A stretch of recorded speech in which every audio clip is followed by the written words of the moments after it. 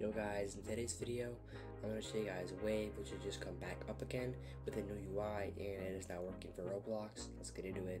Before the video starts, I want you guys to know about the best place to get keys for Wave. They have the best prices, the fastest delivery, and it's pretty much the best shop overall. As you guys can see, we have a Wave loaded right now, and it injected into Roblox. We can use a printer, uh, simple print script, execute it, and you guys see is injected successfully into our console here. There's a script hub built in too, we can find any script we want.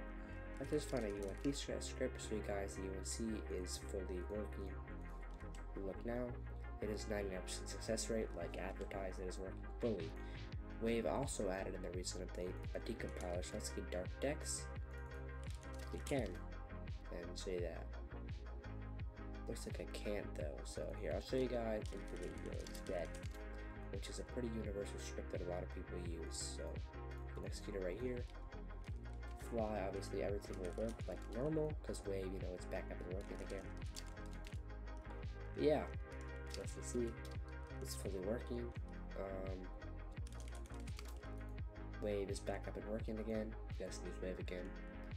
Um, yeah, hope you guys enjoy the video. If you guys want to get Wave, like I said, link in the description, the best Wave reseller. Um, have a good day and see you.